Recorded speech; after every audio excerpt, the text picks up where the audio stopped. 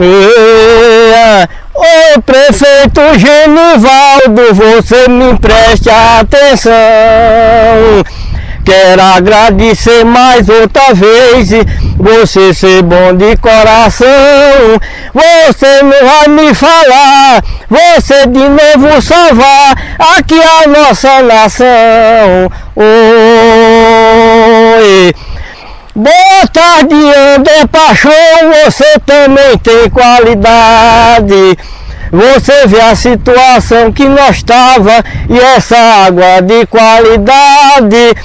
Ah, por isso quero dizer de novo, aqui salvando meu povo, pra vocês boa tarde. Oi.